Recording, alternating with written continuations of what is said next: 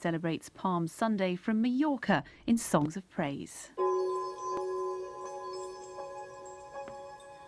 Our BBC Two, in the final programme of the series, Peter Purves and Jessica Holm take a fond look back at the canine event of the year, Crufts 97.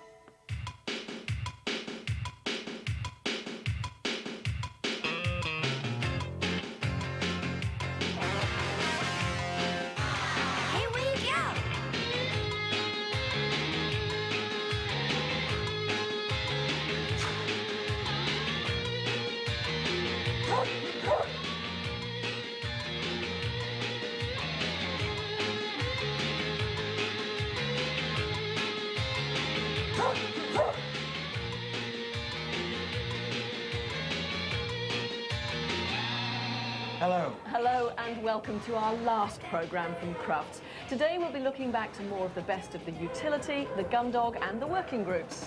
We'll also be seeing the agility final. More of the obedience championship.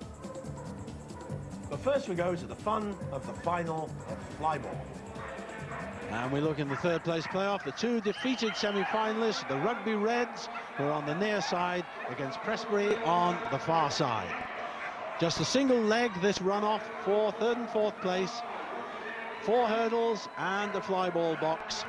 And in the lead at the moment, Rugby have taken it up. A good changeover after their third dog. Fourth dog to go if it doesn't make a mistake. Rugby are going to get that third place. Going the long way round there, but coming through to win. Very comfortable win for Rugby. They take third place. Prestbury are in fourth. But of course, the main meat of the event is the actual final itself. And that's going to be between the two winning semi-finalists, Daventry and Wilton. Daventry, of course, they beat Rugby, Wilton beat Prestbury, and now they race it off over three legs to determine the winner of the flyball. Daventry with the yellow stripes, we're looking at Wilton here. Wilton nearest the camera, Daventry farthest away, and it's Daventry who take the first lead on this opening leg. Beautifully out there, and the lead increasing. Daventry are such a good side. Always feature here or hereabouts in the finals. And they're opening up an even bigger lead. There was a mistake by the Wilton team. This is the fourth dog for Daventry. They're going to win the first leg very easily. Daventry then lead 1-0 in this best of three final. Just sorting out the uh, balls ready to put them into the fly ball box whilst we watch another elegant catch. And this is the first dog for Daventry in this second leg. First two were neck and neck collecting the ball, but Daventry have now opened out a lead. Very fast turnover. And the lead increases again. This has exactly the same pattern we had in the first leg. Are we going to need three legs, I wonder? Daventry's lead increasing again. And it's a clean finish. That's terrific. Daventry going to take the title.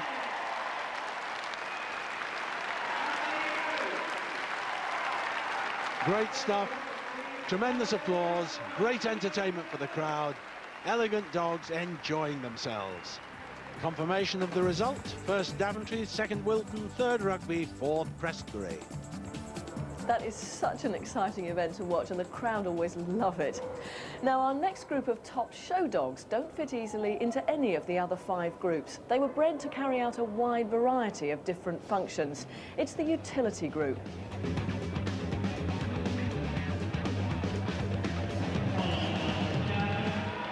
And the group judge, Claire Coxall, has the distinction of a Best in Show at Crufts in 1966 to her name with an apricot toy poodle.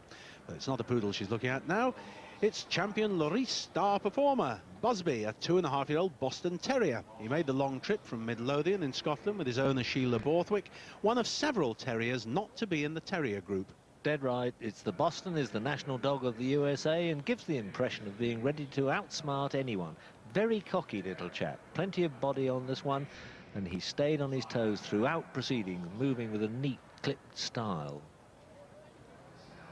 Minar here was bought as a family pet, but this uh, German Spitz of the Klein variety is a real veteran. Now nine and a half, She's won her best of breed at Crufts twice before for owner Fran Baird of Wimborne Minster in Dorset. It's a small dog, but it's got an enormous kennel name. Lariva's Minna the Minx at Wentgarth. Well, we both liked this bitch when we saw her in the ring earlier, and she's owned by a lady who used to have some extremely good keeshonds. Lovely dogs they were. She stands very, very nice and square. She's got a lovely expression. She moves around that ring with absolutely smart precision. A typical German Spitz. Very high on her toes as well. This is the Mittel, the other variety of German Spitz. Bobby, or great name coming up, Windley the Crowman. He's three years old. He's owned by Mr. and Mrs. Beard from Selston in Nottinghamshire. Pat Beard admits quite freely she didn't expect to win on the day. Well, I'm surprised, man. The Klein, of course, can be up to 11 and a half inches at the withers, and the middle starts at 12, so often one sees two dogs standing next to each other and there isn't more than an inch between them. Again, this is a well-made dog with, if anything, a longer standoff coat. Lovely name for a little dark dog, isn't it? That's super. Absolutely Crowman. Crowman. Windley the Crowman. Well, this is the baby of the group, only 16 months old. The miniature Schnauzer is known by owners Steve and Caroline Waring from Cheltenham as Lewis, or Louis. Registered with the Kennel Club as Skanson's toy boy at Cascade, he won Best Puppy in Show at the Northern Schnauzer Club show. It's a nice looking dog, isn't it? Yes, it is. We see a lot of the pepper and salt coloured schnauzers in this mini version, but we don't often get a chance to clap eyes on a black. At one time, they were much more in demand. This fellow came into the country through quarantine, so perhaps we may be going to see more blacks in the future. He's no different in standard, but optically it's sometimes quite difficult to check. Now, Mary Dietz from Thetford in Norfolk owns this Schipperke. Buddy, he's three years old, and Mary admits that, like all Schipperkes, he's got the attention span of a gnat. So that means he probably wouldn't be able to concentrate long enough to hear his full name, which is champion Fran Howell Black Minstrel for Aradet. Yes, well, some people think that the thick, powerful neck of this skip makes him look a bit stumpy. But to me, when he's as well balanced as this little fellow is, he's the breed standard brought to life sparkling eyes, neat, erect ears, a warm, close-fitting jacket, and a trim way of going. A very nice dog indeed. It's a good one for Mary. Now this is a German-bred Tibetan Terrier. Champion Hotang Haruka of Willowbrae, or Rookie, thank goodness he's called Rookie, is six. And he's special to owner Judith Robin Smith from East Sussex in that although she chose him as a puppy, she didn't bother importing him into this country until he was 10 months old. Now he's turned out to be an absolute charmer. Well, he's a very good advertisement for the fact that quarantine doesn't do a lot of harm because he came in through quarantine. He doesn't seem to be any the worse for the experience. I like TTs, especially if they look as if the wind blows through their rigging heartily. And this one seems a free and easy fellow with a typical head and very bright eyes. Smashing. Winning his first challenge certificate on Friday at Crufts brings Paddington into the group judging. He's a Tibetan Spaniel, Inglespan Razzmatazz for Langshey. Only 20 months old, he's owned by Julie Carter from Marlborough in Wiltshire. He's only 20 months old, yep. this gentle-headed dog. Uh, he's lovely. Sired by one of the best-looking stud dogs in his breed. Looks like one who could go on to even greater things as he matures. One of my favourite breeds, possessed of a delightfully mischievous nature once he's got to know you and stops being standoffish. That's right, you have to persuade them to like you, don't you? Well, one of my favourites is this giant, the Leonberger. Managard, away we go to Jacolda, is four and a half with a pet name of Fudge. Dave Killerley handles her for owners Dave and Joan Rushby of Glossop in Derbyshire. And apparently, believe it or not, this was the runt of a litter. But what a beautiful animal she's become. Well, they managed to rear the runt pretty well, didn't they? A rapidly improving bitch, this, with a gentle temperament, as that head and expression suggests. Lovely great shambling dogs with the look of the Newfoundland about them. Never seem to be in a hurry, but if they are on sentry duty, they can get up a fair head of steam when appropriately persuaded. But as you'll have seen in our live programmes, Judge Claire Coxall chose eight very different utility dogs for her final selection. And the winner, no doubt at all, was this one, Paris, the three-year-old Japanese Akita bitch. Carl and Shirley Jones, magnificent champion Oktoumi, love action. You're the best thing. Dav Carr, Mr. Bombastic, so fantastic. Redwich strike up the band for Silverhawk, which is slightly unusual, I suppose. Beryl the Peril. Beautiful. Sleeps on the bed, in the bed. You can probably guess why he's called Rug, because he basically looks like one. But this is our first time doing obedience. There are six disciplines in the obedience competition. The send away, distant control, retrieve, heel work, scent and the stays, sit and down. The dog who loses the least points wins. Our expert Sandy Wadhams thinks the competition will be tighter with the dogs than it was with the bitches. Oh, definitely, because I think the dogs are much stronger in depth and you'll find the marks will be a lot closer. All right, tips for the top? My very favourite, Jean Duncan with Chad, Stella with Callum and Jack of Clubs, Gail Waddington. Now, you haven't tipped yourself there, which I suppose is fair enough, but it's going to be quite an emotional day for you because you are going to be out there. Yes, very emotional for me. I'm retiring my dog Ricky. He's been a great champion and I'm going to miss him a lot. And it's Sandy who gets things started, demonstrating the send away with obedience champion Kolali Rocky. Forward towards the markers. 11 and a half years old, he's still as fast and keen as ever. Concentration on Sandy's face. Right turn. Ricky's actually won 23 challenge certificates in his career. He's been one of the top winning dogs in the past right few turn. years. Call your dog. Nice collection. Right Look at the turn. speed on him. Big smile on his face too. That's lovely to see. Halt. Exercise finished. Dodwell Callum had a slightly disappointing send away, but he made up for it on the distant control. About turn and halt. Now remember, this dog's a previous Crufts winner. The most One. important thing is that he mustn't move more than a body length from that spot. Three, That's lovely. Look at those front paws. four, five, Back to the same place. six. And return to your dog. So, full marks for distant control, and Callum had only lost two points after the second discipline, an excellent position to be in. Exercise finished. Now, this is the retrieve, and this is Jack of Clubs, a horsey theme Ready? this year with our Last judges' enthusiasms. The retrieve article Throw was a stirrup.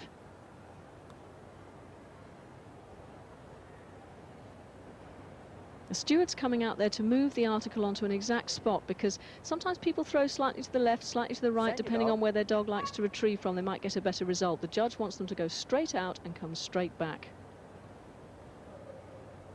Take it. This dog had had full points on distant control and only lost one on the send away, so with a good retrieve, he's in an excellent position. Exercise finished.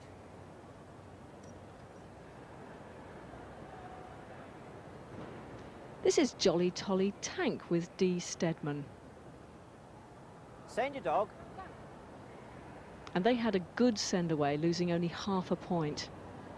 Forward towards the markers. Nice and precise, good concentration on the dog's face there, paying attention. Halt. They put up a good show in the retrieve and distant forward. control, so some good heel work would put them in a strong right. position. They actually lost nine and a half points here. Circle left.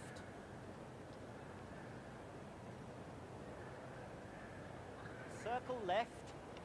But in today's judge's opinion, the best heel work came from Pip Ryan Primo Edition. He'd had a poor right. send away, which had put him out of contention for the top places, but his heel work was a delight to watch. He's Towards almost me. welded to his owner's leg.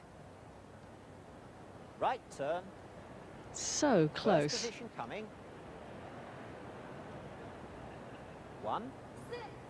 About turn. And very precise. About turn and pick up. Nice, neat pickup. Into the figure of eight. This is last year's winner, Take a Walk Zach with Dot Watts. They had the second best heel work of the competition. A very steady Towards dog me. and an experienced handler. Of course, that combination's always going to help. Are you ready? Nonetheless, they did Last lose eight and a half points Throw on the heel work, and this is earlier on where they lost just one point on the retrieve. A straight throw out, but still the steward places the article on exactly the right spot. Wild blue Send eyes waiting to go. Zach had had an excellent distant control too, and he actually went into the lead for the second year running. So an it. exciting time for Dot. And finish. Nicely done. This is Sandy's favourite, Chad of Skipton. They'd had a poor send away, but let's see if they can do better at distant control.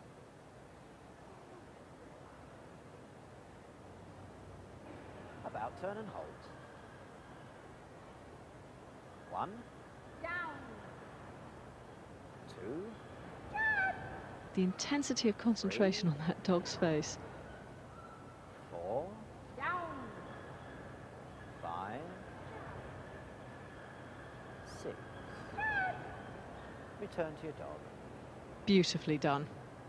Full marks there, so if he continues in this vein, then he could be up there with the leaders. Exercise finished. So the placings so far show that it is really hard to split the top winning dogs here because the standard is so high. Just half a point separating Jolly Tolly Tank from the leader so far, Take a Walk Zach. So we move on to our next test, the scent. This time the cloths were placed in a C.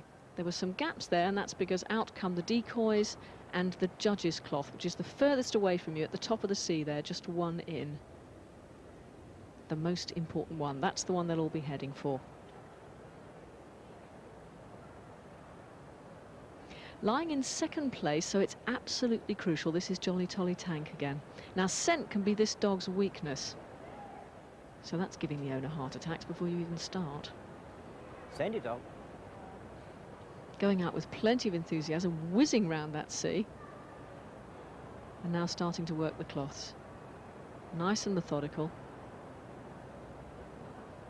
It's gone over the decoys. That's the one. Picks up the judge's cloth. And presents it. Take it. Oh, oh, oh, he's hanging on to it though. He's going to lose a little for that. Exercise finish. And it was one point lost. This is Brimo Magic Jason, who seemed to get horrendously confused by this test. He's working away there, and he's got the correct cloth, but unfortunately he returns it to the judge. I mean, that's appropriate, that's where the scent came from, and he's got that on his mind. But eventually he takes it back to his owner. Take it. And finish. The audience loved it. Exercise finish.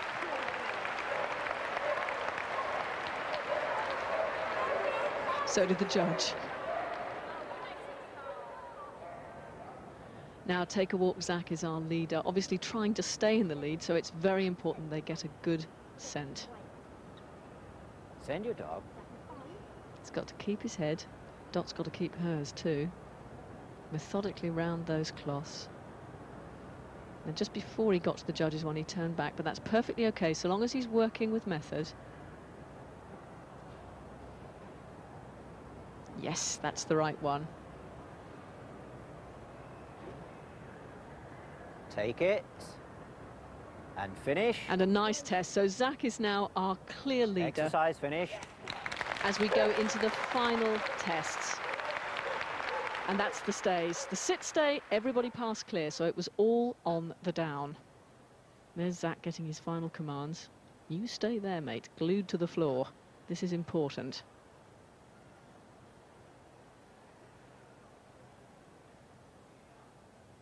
And now all the handlers commanded to leave the ring, and they're going to be out of sight in the collecting ring for 10 minutes, which is an absolute age in which the dogs could be distracted by ambient noise, by something moving in the crowd.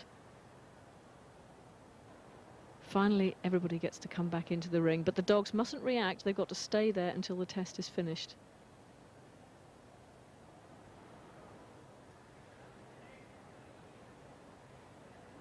But that was it. No points lost for obedience champion Take a Walk Zach and Dot Watts.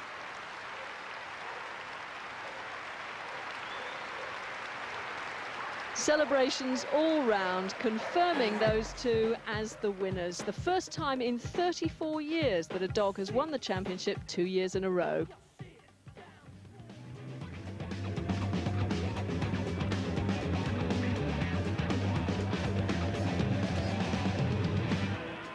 Now, the Gundog Group judge Roy Harrison has had success with four different breeds in his career, English setters, pointers, Welsh springers and the Cavalier King Charles. But here he is looking at the Brittany. This particular one is imported from a working kennel in France. She's called Ivory, or Ivory de Caranluan, and she's three and a half. She comes with her owner, Patricia Rush, from Halesworth in Suffolk.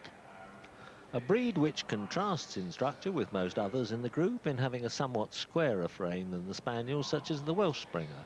This leads to a clipped fashion of movement, which makes for a very busy-looking dog. This bitch, as Peter said, is an import from the continent, and British breeders have turned time and again to buy good French stock. Mm, I think that's a beauty.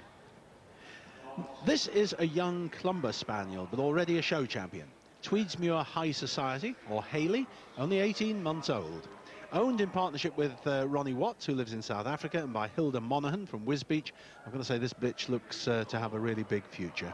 Well, it's the heavyweight of the Spaniels, the Clumber, but if you looked at its head, had lovely eyes, clearer in shape than many, and it goes round the ring without too much of the roll. A splendid specimen, in my opinion, and it did please a great number of the crowd that was watching on Gundog Day. Such an unfortunate name, Clumber, isn't it? It mm. suggests a lumbering, loafing sort of dog. Indeed it does.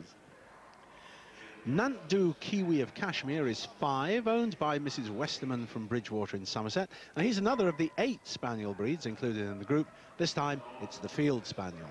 Glorious liver colour. I think they're absolutely lovely dogs, and they can be easily mistaken for a cocker, but slightly longer in the body, this super liver colour, which of course you don't see in the cocker, clean line of head, and looks as if he could do a day's work if he was asked to. He really moves well, doesn't he? He does. He's got beautiful fringing there, beautifully presented, a lovely dog. So too is the Gordon Setter. This one is the breed record holder with over 43 cc's and was Dog World's top gun dog in 1995. Show champion Lyric High Society, or Bracken, is now seven and a half, and owner Maureen Justice from Buntingford in Hertfordshire says she is a very special friend. Well, the lyrics have always been at the top of the tree in the Gordon setter. It's the heavyweight hunter of the setters with an appearance of a solid body and limbs. Much harder to get a gleam from the more sombre colouring of the Gordon, but in bright sunlight on the moors, this bitch would be a striking sight. Yes, they're quite spectacular, aren't they? She's gorgeous. Now, this one is Peggy Steele's first show champion at the age of 75. Troy is a three-year-old Hungarian Vizsla, and he's shown in the ring by his breeder, Larry Wilkes. And Troy's full name is Nikiles Polestar of Streamhawk. A positive golden gleam in the sunlight if you're out on a summer's day with one of these dogs. It's one of the sights of the Hunt Point and Retrieve collection. The Vizsla's physique under that fine short coat is all there, plain for anybody to see. And here's a breed where owners seem to work at getting them really fit. Now, Joshua, the Irish setter, is almost nine now and has an amazing track record for his owner, Bonnie Andrews of Wokingham. With 27 cc's to his name, I should think show champion Marksway Marquis is well within his rights to demand as he does pieces of kidney in the ring whilst he's competing. Well, that's all right as long as they're not being put into his mouth just as the judge is walking up to him. This is the Flash Harry of them all, the original wild Irishman. Not a dog to win an obedience competition, but one to last all day on the grass moors of Shap. Glamour personified to the nth degree. One of the smashers, I think. Yes, never failed to draw a big crowd. Delightful. Now one of the larger, heavier gun dogs, the Italian Spinoni. Show champion Roscali Andrio. He's known as George, three and a half years old, comes from King's Heath in Birmingham, where he lives with owners Joe and Elaine Kirkham, and he's their first champion. Peter, I find it this breed invites you to laugh at him because one moment his moustaches are turned down dismally and the next he's herring all over the fields in a fit of wild enthusiasm which defies you to catch him at all. A solid workmanlike chap with massive hairy webbed feet. Now this is a fabulous Labrador, I think. Show champion Rocheby Polka Dot. She's called Polly, three years old, was also best of breed last year at Crufts and second in the group. Handled by Marion Hopkinson from Doncaster and owned by her and her husband David. The biggest entry of any breed in the whole show. There's always criticism that show labs are overweight, but this is a bitch which, to me, combines femininity with style. I think a lot of people expected to be called out again into the full glare of the lights in the centre of the main ring for the final line-up, but she wasn't to be. No, we were surprised at that. Certainly we expected her to be in there. But in fact, Judge Roy Harrison, he chose eight very different but splendid gun dogs for his final selection, from which he chose the best of the group. Show champion Boduf Pistols at Dawn with Afterglow, the American Cocker Spaniel Dexter, 20 months old, and owner Mike Gadsby. Now the action really hots up as we reach the final stage of the agility competition. In last week's programme, we showed you the first two rounds of the final, which left us with this situation. Brentford were leading, Peterlee second, Prestbury Park third, Chippenham in fourth place. It's the same course. We now go to round three. Chippenham, who were in fourth place, go first. This is Tidy with Barbara Cranfield. If you were watching last week, you'll know that this course is fast, consists of a lot of straight lines, but a fair amount of difficulty where the control must be given by the handler, otherwise the dogs can go wrong. But Tidy coming around pretty quickly, and it's a good time to the table. Here they have to be down for a count of five, and that's a very fast time to there, so this is a good round so far. The judge, Dave Perry from Derbyshire, he set the course, and uh, it's proving to be a good one, as I've said.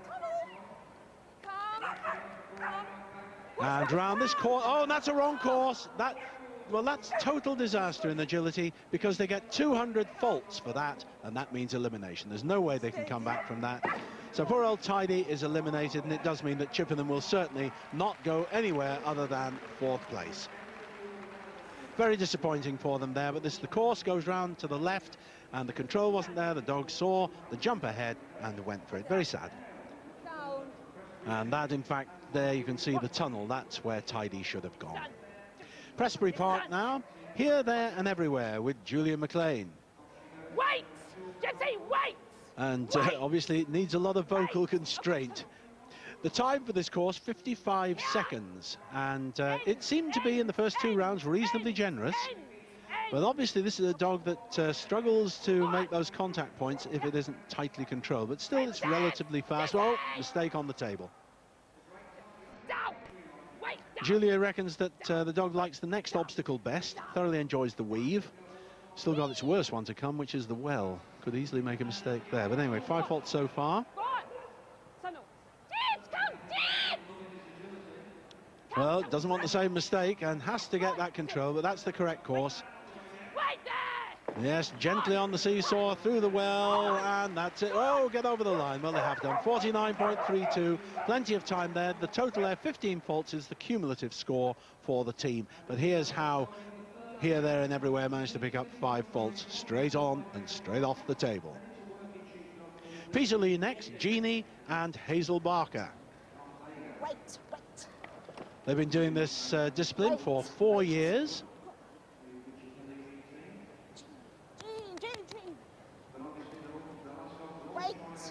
According to Hazel, Jeannie likes all the obstacles. Well, no accounting for taste.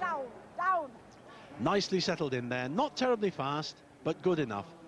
55 seconds seems to be plenty to get round here, even taking it easy. Peterlee were in second place after the first two rounds. And a clear round here will certainly keep them in that position and could even advance them into first. Nicely over the seesaw, through the well, through the tyre. That's a good finish, 46.8, good time. Very healthy, and the team as a whole have no faults. Three dogs have gone clear. Excellent run there. You can see how the dogs enjoy it. The tails wag, the eyes are bright. But Lucy Lastic here concentrating at the start for Brentford, who were in the lead. Stay, stay. Steve Baldwin, very experienced handler. We've seen him many times here in the finals at Crufts. Stay. Brentford is a team in Coventry, and Steve used to work his dogs for rugby. Back, back. But this is certainly quite a slow round as far as the table, but it's accurate, and that, of course, is very important. It's probably a, a reasonably new experience for Steve because uh, he used to use German Shepherds in agility. Last year was his first year with a collie. Uh, Lucy Lastic is certainly doing Lucy well. Back. Lucy back. Clear so far. And if the time isn't too slow, it could well be that Brentford stay in the lead after this third round. That's a good one on the seesaw. This is nice. Plenty of time. No problem with the time at all. 219.36. Brentford will stay in the lead. And here's confirmation of that situation after the third round. Brentford lead, Peterlee second, Prestbury Park third, Chippenham are in fourth place. So it'll be Chippenham who lead off in the fourth round. This is Peggy Sue with Roger Blake. Working Sheepdog is seven years old. And it's the third year that Peggy has qualified for the agility competitions at Crufts. It is a difficult course, this, because the, there are so many opportunities for the dogs to make mistakes. But this is both accurate and fast. Chippenham trying to redeem themselves a little after that unfortunate third round.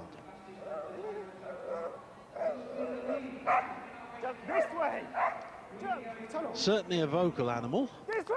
And a vocal Roger Blake. This is the important one, turning left. Don't go over that jump, and Peggy didn't. Excellent. No, that's a good round. No further mistakes there. No faults on that round, but the total for the team, of course, 210. Well, that's a lovely finish. Good, clean jumping. Very good. Prestbury Park next. This is J.C. Sproglet with Greg Dennett. Great name, isn't it? J.C. Sproglet. This is the first time that this team from uh, Prestbury Park have worked together.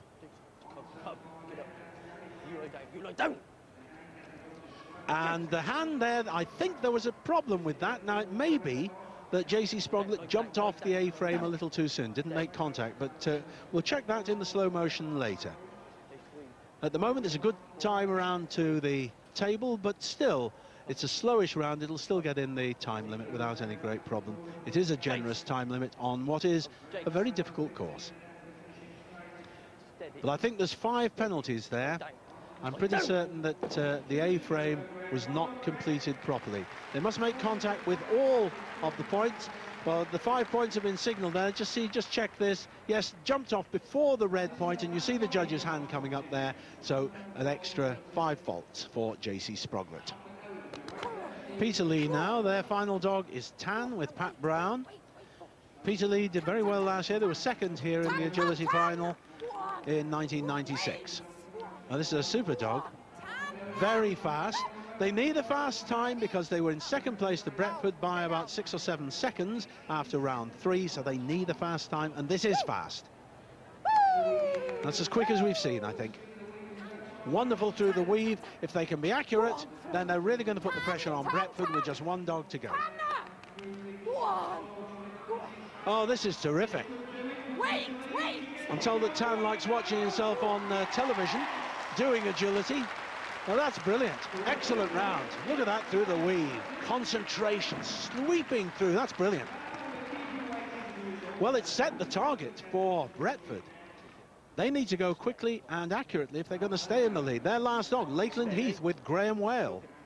Oh, now walk on. Walk, walk, walk. This dog's been doing agility for nine years. On that Come, basis, come, one can't come. expect it to be quite as quick as Tan was. But is it going to be accurate? Over. Back. A wise old head. It's much slower. It's much slower. We're looking at three or four seconds slower to the table. This is now very tight. Slower through the weave, no question about it. Losing time all the time. Are they going to be quick enough? Come, come. Come, come. Terrific control, nicely into the tunnel, that's good. No mistakes now, they might just make it. Oh, this is terrific stuff. It's very close indeed, but that is a clear round. No faults for the team, 305.77, and Brentford just hang on. Confirmation of that result. Brentford there with 305.77, just head Peterlee Dog Training Club into second place. You're the best thing I ever had. Um, this is Amber. She's an Australian Silky Terrier. We called her Amber because she's like an amber nectar. This is Zebedee, pet name. His pedigree name is Time for Gossip, to make people talk about him. This is called My Lovely Boy because he was a beautiful little dog puppy in the litter. This little bitch is called Beltudes Let's Move It because she moves very, very fast. She demands the ring. Leju Amor Jollify. Longer than the dog. well, he doesn't live in a kennel, so he doesn't really have a kennel name. Stephen. he lives on the sofa. and oh, he's exceedingly naughty.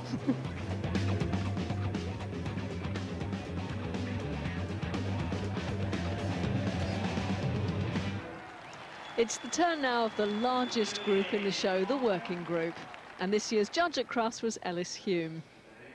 This grand beast is an Anatolian shepherd dog, Zoot, or Telkari Effendi. At home with owner breeders Janet and Robin Hill, Zoot is renowned for his cobnut eating habits, carefully crunching and discarding the shells, apparently. Well, he should be strong enough to do. He's a mastiff type of dog, but built more on the lines of the Great Dane than the English Mastiff.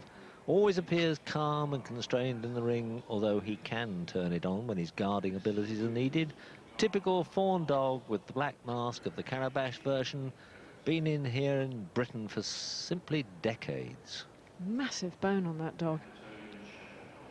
Champion Burnfold Dawn Chorus, the distinctive livery of the Bernese mountain dog. Willow is a six-year-old bitch owned by Shandy Bridges from Cornwall and bred by Anne Wells. They're striking dogs, aren't they, Mike? Yeah, great cuddly bear of a dog with this most striking pattern of face markings. Caught the public fancy all too quickly for its own good when the breed arrived in this country some 30 years or so back and went through quite a few problem times. Now it's on the up again, and it's a very popular act as a draft dog on fun days. Lovely dog. Omar, this four and a half year old Bouvier de Flandre, was born in quarantine when he was imported by Carrie Wilberg. Champion Canucks Omar now has 16 challenge certificates and was best in show at the National Working Breeds Championship show in 1995. Carrie seems to bring in one after the other, or perhaps breed them all but they really are lovely, powerful herder Kangada, handled here by the lady who is chiefly responsible for the high standard of the breed, now popular with many police forces because they look threatening without having proved it. Champion Merland Midnight Marauder was named after Mitch in Baywatch by his owner breeders, the Seldons. Mitch was the top smooth collie puppy in 1993, and this Crufts was his sixth challenge certificate. Oh, that's not bad going. It's an elegant beastie, this smooth, with a style all of its own, and it's the smooth version of the Lassie collie of the Hollywood era. A very special eye which would face down any recalcitrant old you with the wrong ideas and a positive athlete of a working dog. Lovely stride on it. Last year's top Doberman puppy was this striking young man, Ross, or champion Amazon Sound Machine, owned and bred by Clive and Nancy Evans from Tewkesbury. He's had a superb show career so far, winning nine CCs, and he's not yet two years old. No, that's quite something, isn't it? We get used to the idea that all Dobermans are black and tan. This one, of course, is the brown version, and he's won his way here to the top over 300 others. Not a giant of a doe, but his lines make him look smaller because they're so neat and he moves very efficiently and effectively. Lucy here is described as a stroppy bitch to handle, and that wasn't by me, I can assure you. So owners Peter Garside and Margaret Fisher Garside have given handler Gary Gray a bit of a task, but he's managed to pilot Grinsdale's Lucy in the Sky at Garshira to best of breed at Crufts. I must say, Mike, we all tipped this one to get pulled in, out, didn't we? Indeed, and he's a very, very good handler. We're in a constant state of disagreement between those who cheer for the German Shepherd, those who call it the British Alsatian. But a bitch as sound as this should satisfy both camps. I think she's gorgeous. Mm. Now, Mike, I've got to get the pronunciation right here. This is a Hovawart? Well, by my book, it's a Hooferpart. Hooferpart. Paddy Homeson Poseidon is a baby at just 16 months old, and he was bred and lives at home with the Richardsons from Sleaford. He was called Poseidon because they're keen on scuba diving, but apparently Paddy hates water. Gracious me. This golden colour is, if anything, the rarer of the colours because a lot of them are black and tan. But it's got a splendid tone to it, and after a long period of waiting in the wings, the breed is starting to become recognised. It comes from the Black Forest. With any luck, it'll turn out as well as their Gatto. Swan White Red Rosina, or Rosie for short, is a two-year-old pinscher bitch who was bred by Mr Leggett and is owned by Anne Hardley from Suffolk.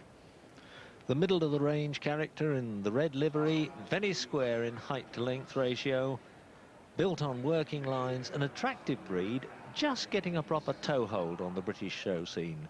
Makes a pleasing family dog, but needs intelligent handling to get the best out of it. Looking slightly overawed there, perhaps, in this a big ring. heck of a big ring, isn't it, for a fairly small dog to get round. Winning the first ever best of breed with challenge certificates on offer for the breed here at Crufts must make Smarties owner breeder Diane Mottram very proud. My Beard's Wizzin is a three and a half year old Polish lowland sheepdog whose father and mother between them have been Britain's top winning Polish since 1991. Yeah, it's a breed which has made extraordinary progress since its arrival in Britain no time at all ago. The original import stock was obviously high quality and well selected. Thank goodness we don't have to wrap our tongues around the native name of the Polski Owczarek Nizinny. I'm glad it was you that did that, not me. the ever popular Rottweiler, and this is an Irish champion, ever ready deep purple, or Will at home with owners Noel Beggs and June Wall. Will is a very special boy as he was from their first litter and a litter that they actually had to hand rear, and that is a nightmare job. No sleep for at least a month. I can believe that. It's a huge entry as ever here at Crufts. 300 Rottweilers, topped from the open dog class by this Irish-bred two and a bit year old. Well, those were some of the best of breeds that didn't make it into Ellis Hume's final lineup. These were the dogs that did. But topping the working group for 1997 was this gorgeous Samoyed, Zamoyski Lucky Casanova at Roybridge, owned by Carol Hamilton and handled by her granddaughter. And with that winner from the working group, our sixth finalist is now ready to enter the competition for Best in Show.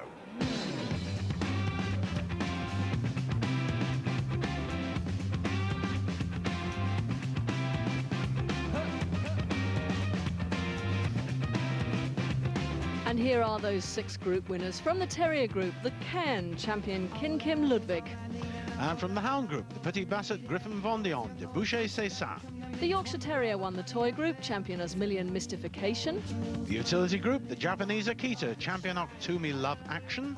The American Cocker Spaniel came through as top of the gun dogs, show champion Boduf Pistols at Dawn with Afterglow. And in the working group, the Samoyed champion Zamoyski Lucky Casanova at Roybridge.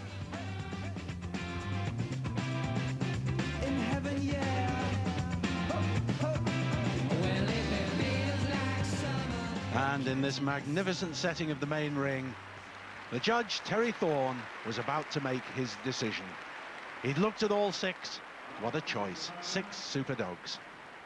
And we all had our separate tips, but it was going to be the Yorkshire Terrier that took Cruft's Best in Show for 1997, champion Osmilian Mystification, with Osman Samija heading for that podium and that enormous trophy. What a moment for them. Well, you can see how pleased he is. And we thought for a moment that Terry Thorne was going to pick the Samoyed in the reserve, but then he turned left, and it was the American Cocker Spaniel, Dexter. Show champion Boduf Pistols at Dawn with Afterglow with Mike Gadsby. Such a good combination of handler and dog this. They really deserve the award. No question, though, about the winner, and no argument either. Champion Osmilian Mystification, Justin, five years old. A great moment of triumph for Osman Samaja. And that's all from Crufts for this year. We really hope that you've enjoyed our coverage. And we'll definitely be back again next year for Crufts 1998. We do hope you'll be able to join us then. But until then, from Peter, from me, and from all of the team here, Goodbye. bye-bye.